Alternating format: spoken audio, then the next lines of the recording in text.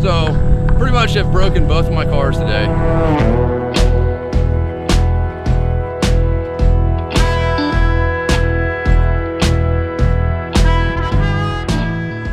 I'm Pat Thurston, and these are my Mark IV R32s.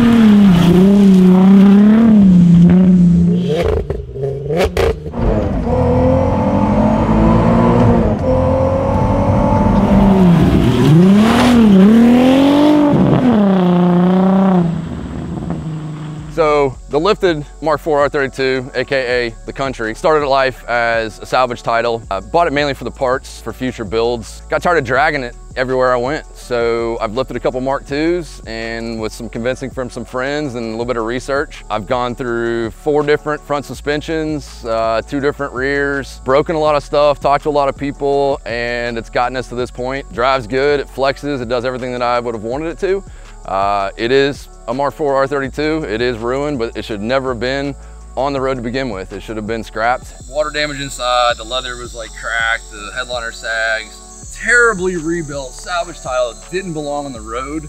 So this is the perfect one to do it to.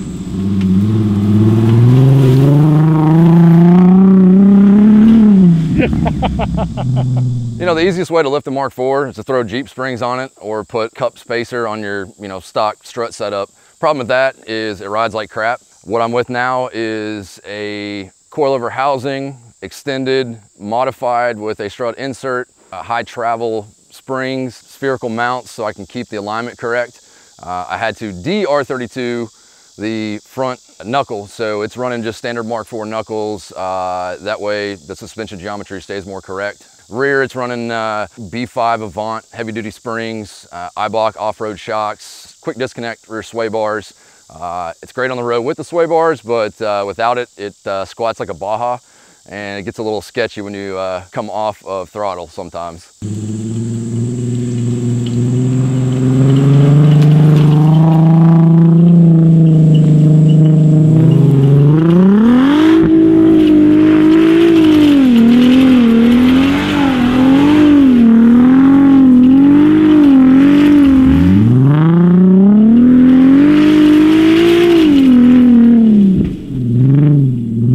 Blew my strut, uh, strut insert. Thought I was maybe smelling some gear oil, you know. Oh, did I pop a hole in the trans? No. Take a look over here. Oh, that would be uh, the oil inside of a strut. Uh, I may have just sent it a little too hard and uh, ruptured the strut insert. And uh, time to upgrade. Like many of you out there, I build them to push to the limit. And if you don't push them to the limit, you don't know what's gonna break. It's not that big of a deal. And on this one, time to upgrade the suspension. Gotta send it even more. You know, on a lowering kit, you don't get much travel. You're all about the dampening and, and the rates. I wanted more travel and a lighter dampening rate uh, for off-road performance.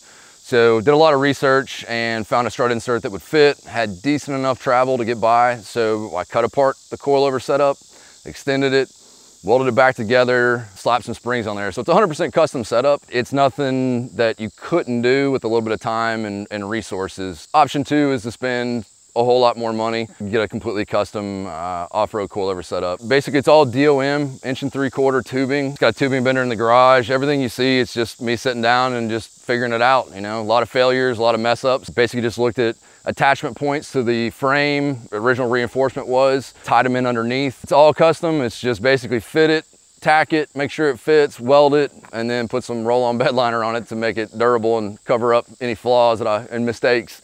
Pretty much the whole idea of this build was to pay homage to the Golf Country. Put the tire carrier on all for the purpose of making it look like a Golf Country. You know, they're, they're rad, they always were, they still are, and uh, this is a modern version of it. So the rear bumper, obviously I had to cut a, a, a ton of it away to, to clear the tire as it comes up. Uh, it'll actually tuck the tire uh, on full flex when the sway bar is disconnected. So I kept having to cut away, cut away, and cut away, and then finally decided I wanted to match the front. So it's just tubular uh, DOM, and it drops down. It's supported underneath uh, at the differential uh, mount. And as you can see, you know, zip ties holding everything together. That's how quality on this car. Had to do like a motorcycle third brake light because I didn't realize my tire would cover my third brake light. Didn't feel like getting pulled over. But basically it just, just trial and error, man, just fit it up. But uh, it swings out, you know, holds a full size spare, which obviously you need.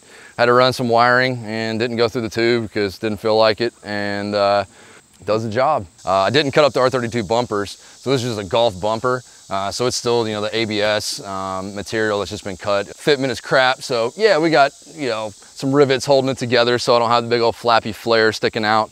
But uh, everything's bedline, whether it's metal or, or plastic. Right now it's just got uh, UMHW skid plates. I don't have continuous skid plates yet. So I'm looking at how to attach it. I'd like to protect the fuel lines and the, uh, the, the, fuel tank itself. It's running three-piece Autostrada Modena wheels, and I had those for another build. As I said, I was paying homage to the Golf Country. It came with a, uh, a Speedline five-spoke wheel, so the Modena is a perfect fit, except for its three-piece. So I refinished those by hand. I will never ever refinish a wheel by hand again. Because Black Magic Pearl was only available on the Mark IV R32 and then uh, the 20th anniversary. So finding golf fenders in, in that color is pretty hard. I found some up north that were rusted out, perfect ones to cut up. So I have my factory ones at home for those watching that are like, can't believe you cut up Black Magic Pearl fenders. Well, they're still at the house. So I cut them up to clear the tires, get them a little more spacing, threw some universal flares on there. They fit like crap, but they do the job. I mean, there's nothing about this build that's about beauty, it's about function. Uh, if it was gonna be pretty, I wouldn't worry about you know flexing the suspension and whatnot. This thing is all about function over form.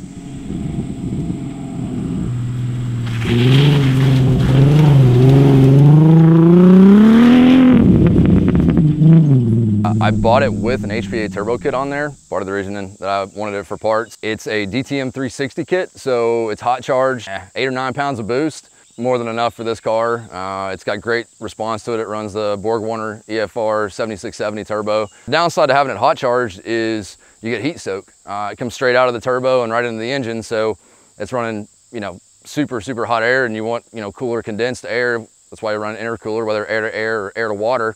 MFA cluster upgrade by uh, Matt Licky, Clusters by Licky.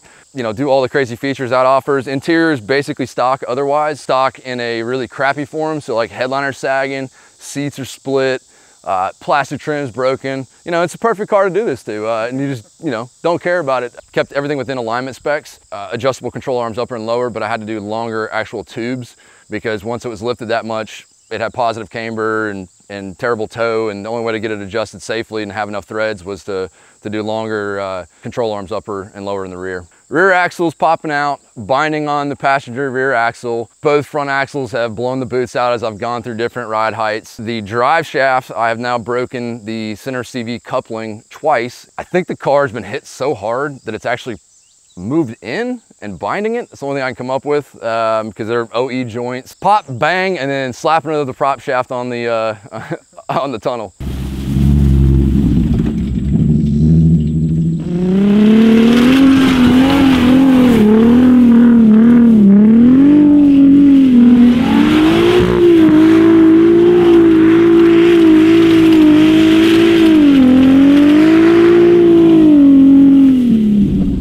You got bug spray on, right? Yeah, we don't need that. Uh, you like plowing over stuff? Yeah, you know.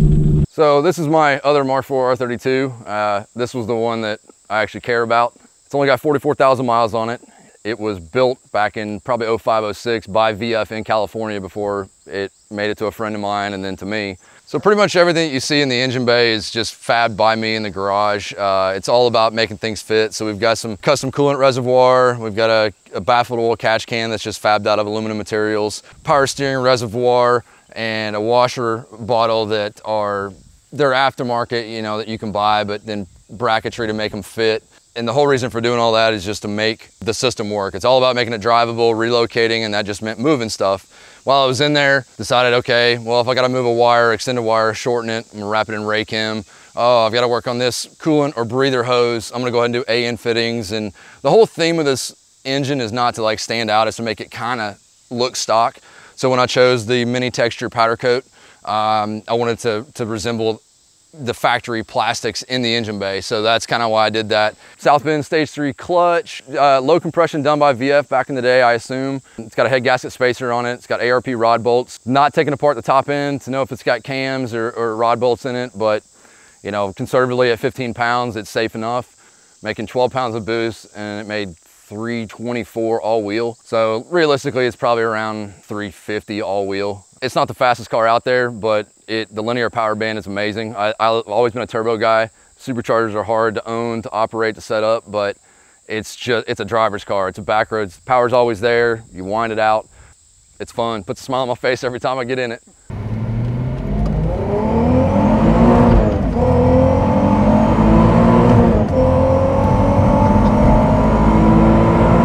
That's good. Uh-oh. that? That was my belt. Did it slip Yep. off? Broke. Ah, Nah, put that on the video. You kidding me? your belt just broke. That's why. That's why you don't own a supercharged car. A little trophy. There's a piece of the belt down here in the road. Oh yeah. Oh yeah. I told you it was gonna be epic. Oh my god. It's a lot smaller than when it started today. I drove this thing really hard at Wookies, and I, I haven't driven it much since then. So it's just because I have so much fun down there on those roads. Well, at least it still drives, and we're not like calling your wife to like come to us. Yeah. Well, I thought honestly, I thought it was an axle or the prop shaft. Yeah, that would have been worse. When I'm traveling, I carry one to two extra belts, extra serpentine belts, everything, the special tools that get at everything. I would swap it right now, but I have to pull the whole front bumper, loosen the core support, pull the headlight, pull the charger. Yeah, I just don't feel like doing that today. So uh, it's gonna be really, really rich, naturally aspirated on the way home. Yeah, Look at that. we started them young here in Kentucky.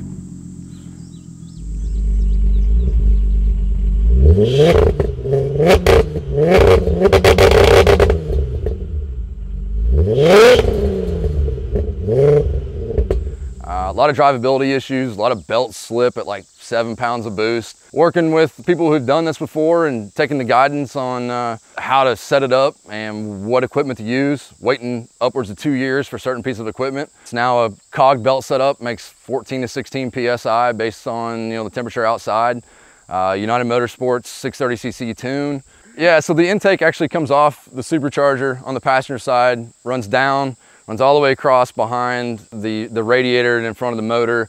Catch can uh, recirculating back into it. MAF is basically by the starter and then it plumbs up and it's, as you can see where the filter is. Uh, reason for doing that is you want to extend that MAF away from the supercharger, from the diverter valve, from the filter. Uh, that way it's actually reading correctly and it's not just seeing crazy air movement in there. Uh, what would happen before is you do a pull or upshift and roll up to a light and throw it in neutral and it would stall. Um, the car just freaked out all the time. It wasn't easy, it wasn't fun. Uh, I did it all myself just in my garage, learning as I went. So the interior is stock seats. They've been trimmed in the center with gray Alcantara. The headliner and all the pillars are done as well. That was done by the original owner. Uh, still in phenomenal shape, so uh, no reason to change it. Some B7 headrests out of an Audi in the rear, just you can't see with the factory Mark IV ones, blind spot. So low profile headrest, a cluster done by, uh, clusters by Litke. Changed the coloring in the car. It's no longer the uh, Indiglo blue. Um, it's like an Audi red with, with white. I've got the Climatronic also changed to, to red. RMT 100, so it's got Bluetooth and all that, also changed to match. So it's kind of like getting into a B5 Audi with the red. I mean, the blue is cool, but the red's just, I like it better. So headlights are uh, OEM HIDs, not available in the US. Uh, I had a friend of mine bring those back from Japan actually, waited about two years and the wheels are BBS CHs. Just be patient, you know, get the parts you want. It's running Bilstein coilovers that were on the, the car already, PSS 9s. Gulf Ocean tail lights in it that I waited probably 18 months to two years to find the right set that wasn't damaged. It does everything, AC, Bluetooth, power, all-wheel drive. I mean, I just, you can't ask for much more. My first car was a 74 Super Beetle. I still have the body of it. That's another project. Mark IV wagon, on air and wheels and everything back in like 06 to 08. Mark II VR6 Jetta, Mark II VR6 Turbo Golf, lifted Mark II Golf, lifted another Mark II Golf and did a Mark III TDI swap, Mark III VR6 Turbo. Anyway, I've owned a lot of Volkswagens. That's my bread and butter. That's what I know. It's just what I'm comfortable with. I haven't done much with the new stuff. Stick with the old crappy ones. The two of them be sitting there side by side and everyone's drawn to the to the country. I mean, it's just why, but I've got to know. It's like a car accident. You got to look at it. You know, it's you got to figure out what's going on. So I almost gave up a bunch of times, and I literally threatened to light it on fire and, and do a, a live feed on Facebook. Uh, my friends have talked me off the ledge more than a few times.